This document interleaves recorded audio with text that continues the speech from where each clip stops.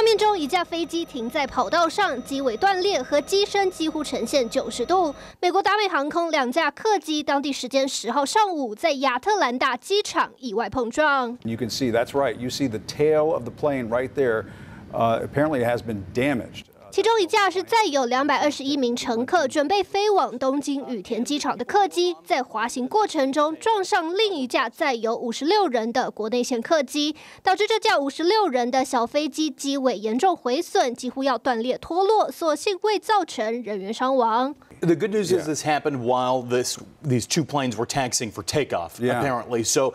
Uh, the energy, the speed in which they were traveling relatively low. Usually try not to taxi much faster than you're running. 当时，美国广播公司气象学家 Jason Adams 在国内线的客机上，他吓到在推特发文，形容撞击瞬间发出刺耳的金属声，简直太过恐怖。另外，北海道新千岁机场也发生客机误闯的意外。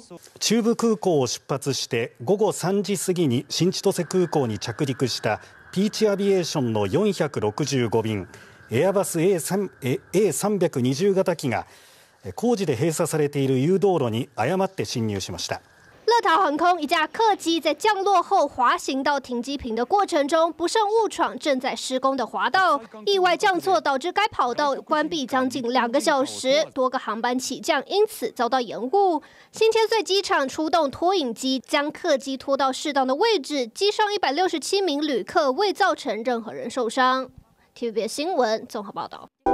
想看最完整的新闻内容，记得下载 TVBS 新闻网 APP。